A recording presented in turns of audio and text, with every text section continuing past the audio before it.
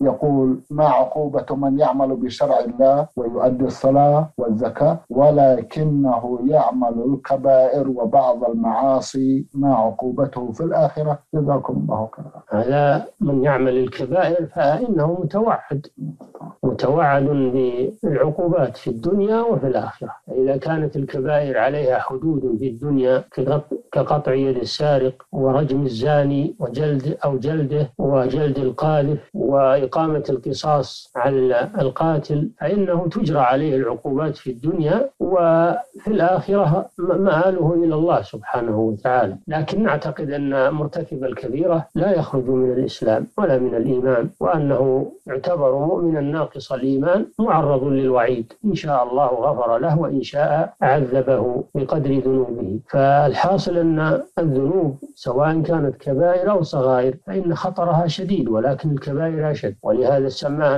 صلى الله عليه وسلم بالموبقات يعني المهلكات والعياذ بالله. الله جل وعلا يقول إن تجتنبوا كبائر ما تنهون عنه نكفر عنكم سيئاتكم وندخلكم مدخلا كريما. نعم.